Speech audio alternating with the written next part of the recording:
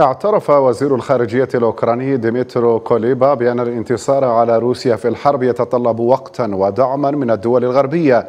كوليبا وفي تصريحات أدلى بها خلال المنتدى الاقتصادي العالمي في دافوس السويسرية أكد أن إبعاد روسيا عن الأجواء الجوية الأوكرانية سيحدد متى وكيف تنتهي الحرب التي تقترب من إتمام عامها الثاني.